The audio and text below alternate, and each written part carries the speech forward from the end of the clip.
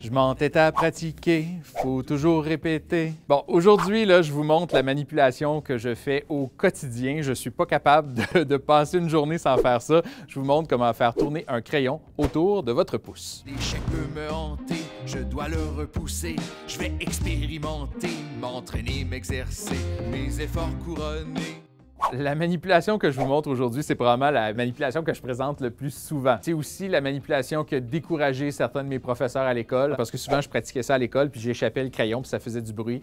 Donc euh, peut-être pas faire ça euh, en classe, OK? Donc ce qu'on va faire, c'est simplement faire pivoter le crayon autour de notre pouce. Comment y arriver?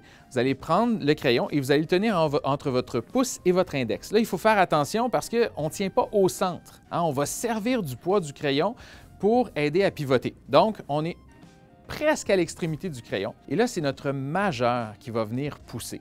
Là, la meilleure explication que j'aurais pour vous, c'est un peu comme si on claquait des doigts. La seule chose, c'est qu'il ne faut, pas vraiment claquer des doigts parce que le crayon va partir, donc il faut y aller doucement. hein. Donc, on tient entre notre pouce et notre index, et là, notre majeur va venir pousser délicatement le crayon et il va tourner autour du pouce. Euh, Vous remarquerez aussi que mon index se tasse parce qu'on veut que le crayon puisse passer avant de le rattraper. On pousse avec le majeur et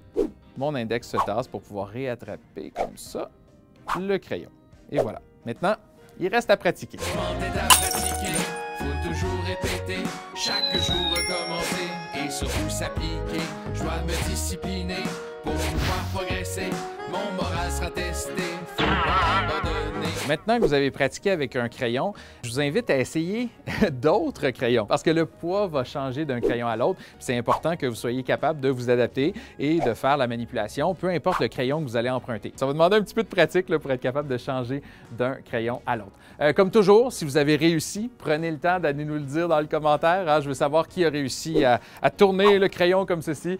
Et euh, je vous invite aussi à prendre le temps de vous inscrire euh, aux, aux différentes plateformes pour avoir encore plus d'informations sur l'album du spectacle. On se revoit très bientôt. Puis n'oubliez pas, hein, à chaque fois que vous voyez quelque chose d'impressionnant, c'est parce qu'il y a quelqu'un qui a pratiqué. Je m'entête à pratiquer, faut toujours répéter, chaque jour recommencer et surtout s'appliquer.